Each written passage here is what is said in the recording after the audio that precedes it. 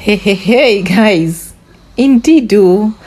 They say what marriage cannot do does not exist. Imagine small Regina Daniels of yesterday is now advising and counseling the whole of Nigerians on what to do. Like, hey, look at this girl. Oh. Auntie, please go and advise your husband. Go and advise your husband and his cabal to put their house in order before coming out to address the public because you don't even know what people are passing what people are passing through.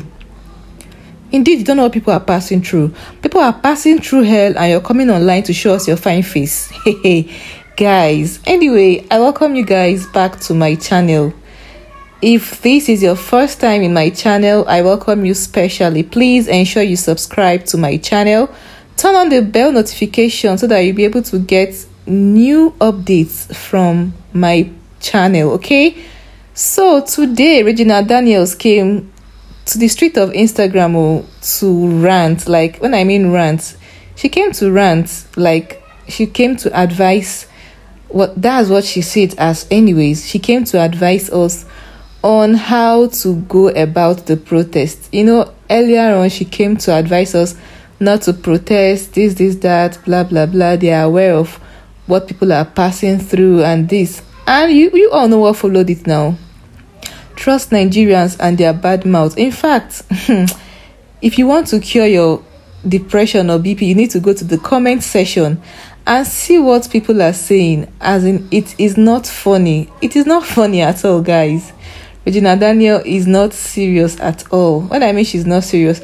Anyway, guys, let me show you what she has come out to say today again.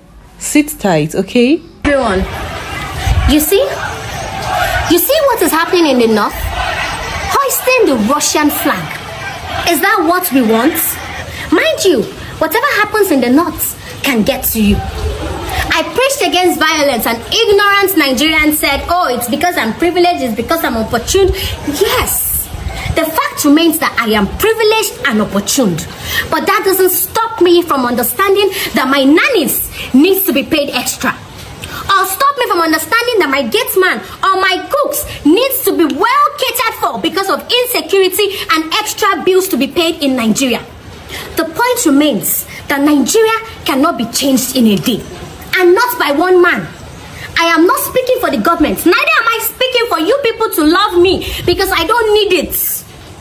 I am just stating the obvious facts. And that's the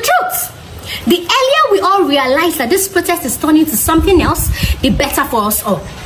And that's it. Guys, our Mama G has spoken, no. Like, our big Mama G has spoken, and we all should listen to her. hey, God, I was going through the comment section of this her post, and it wasn't funny. Like, people were really, really out for her. And that's very good because I was asking myself, where was this same Regina when the price of things were increasing? Where was she when the country was facing all manner of insecurities? Hmm? She was in Ned mansion, enjoying life. If not for hardship, tell me, will Regina Man- um, what is that her name again? Regina Daniel marry Ned? Just imagine this less privileged coming out to advise Nigerians. Omo, it's not funny again, no. We really need to call this girl to order. Anyways, I would like to know your thoughts about what Regina Daniels have said.